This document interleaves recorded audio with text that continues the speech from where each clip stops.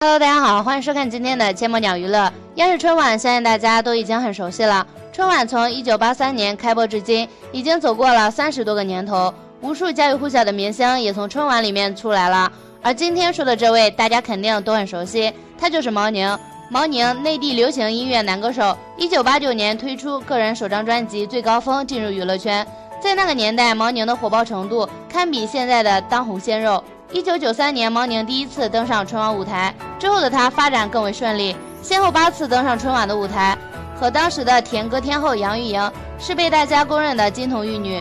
二零一五年，已经很久没有消息的毛宁，在家中吸食病毒，被朝阳区群众发现并举报，最后警方调查取证之后，确有此事，毛宁领刀入狱。